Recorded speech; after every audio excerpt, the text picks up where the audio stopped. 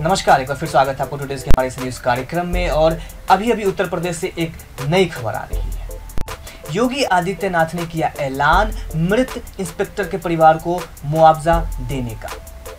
जी हाँ बुलंदशहर में जिस तरीके से गोवंश के नाम पर सब इंस्पेक्टर सुबोध कुमार सिंह की हत्या कर दी गई, उसके बाद उत्तर प्रदेश के मुख्यमंत्री योगी आदित्यनाथ ने उनके परिवार को 50 लाख रुपए का मुआवजा देने का ऐलान किया है। योगी आदित्यनाथ ने सुबोध कुमार सिंह की पत्नी को 40 लाख रुपए और माता पिता को 10 लाख रुपए के आर्थिक मुआवजे का ऐलान किया है। इसके अलावा दिवगंत सुबोध कुमार सिंह के आश्रित परिवार को भी असाधारण पेंशन और परिवार के किसी एक सदस्य को मृतक आश्रित के तौर पर सरकारी नौकरी की आ, आ, नौकरी देने का भी ऐलान किया गया है। बता दें कि घटना पर दुख जताते हुए योगी आदित्यनाथ ने दो दो दिन के भीतर मामले की जाँच रिपोर्ट पेश करने का भी आदेश दे दिया है।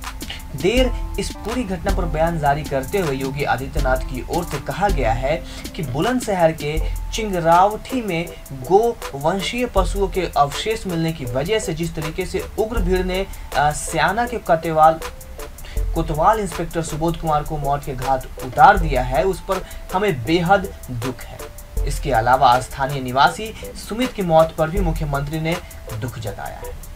जानकारी के अनुसार सियाना थाना क्षेत्र की चिंगरावटी पुलिस चौकी क्षेत्र में गो कशी की सूचना पर जमकर के बवाल हुआ। ग्रामीणों ने पुलिस पर जमकर के पथराव किया और पुलिस चौकी में खड़े वाहनों में आग भी लगा दी। घटना में सियाना थाना इंचार्ज सुबोध की मौत हो गई। गुस्साए ग्रामीणों ने पुलिस चौक खड़े वाहनों को आग के हवाले कर दिया।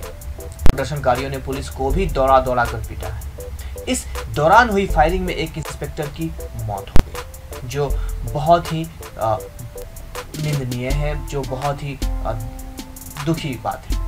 हम उम्मीद करते हैं राज्य सरकार चीज़ों को संयम बरते और अपने राज्य में हालात ठीक करें, चीज़ों को सही तरीके से जाँच करवाए और उनको न्याय मिले।